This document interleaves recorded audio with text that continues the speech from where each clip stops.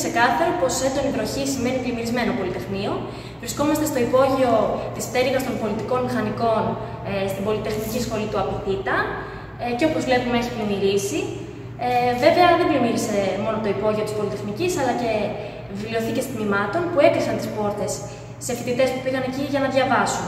Είναι πασιφανέ ότι η πολιτική που ακολουθεί η κυβέρνηση και το Υπουργείο για τα πανεπιστήμια, το επιχειρηματικό πανεπιστήμιο, δεν βάζει μπροστά ούτε τις ανάγκες μας ούτε τις σπουδές μας, αφήνει τις εγκαταστάσεις ασυντήρητες, το πανεπιστήμιο υποχρηματοδοτούμενο ε, και δίνει το πράσινο φως σε εταιρείες, ειδικά εδώ στο Πολυτεχνείο, να δραστηριοποιούνται και να κερδοφορούν στα, στα εργαστήριά μας, τα οποία εμείς δεν έχουμε πρόσβαση.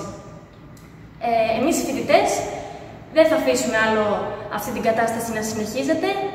Ε, δυναμώνουμε τη φωνή και τον αγώνα μας μέσα από τους φοιτητικούς μας συλλόγους και τις διαδικασίες του. Ε, καλούμε όλους τους φοιτητές στη σύσκεψη των φοιτητικών συλλόγων μαζί με τον ΕΣΔΕΠ και το προσωπικό του Πανεπιστημίου στις 6 του μήνα στο έθριο της Πολυτεχνικής στις 8, καθώς και στο μεγάλο συλλαλητήριο της ΔΕΘ 10 του μήνα ε, στη ΧΑΝΘ στις 6, για να διαδηλώσουμε μαζί με τους αυριανούς μας συναδέλφους με τα εργατικά σωματεία για δουλειά, για σπουδές, για ζωή με δικαιώματα.